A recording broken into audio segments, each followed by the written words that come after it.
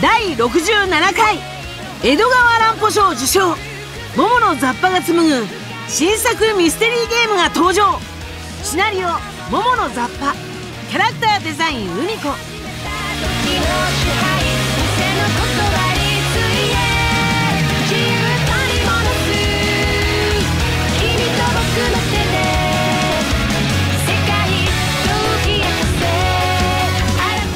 黄昏に潜むフクロウと明け方のスバル好評予約受付中エンターグラム第67回江戸川乱歩賞受賞桃の雑把が紡ぐ新作ミステリーゲームが登場シナリオ桃の雑把キャラクターデザイン海子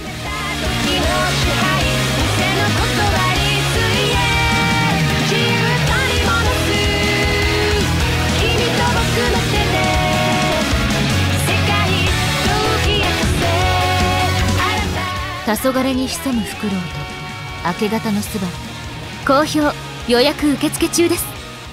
エンターグラム。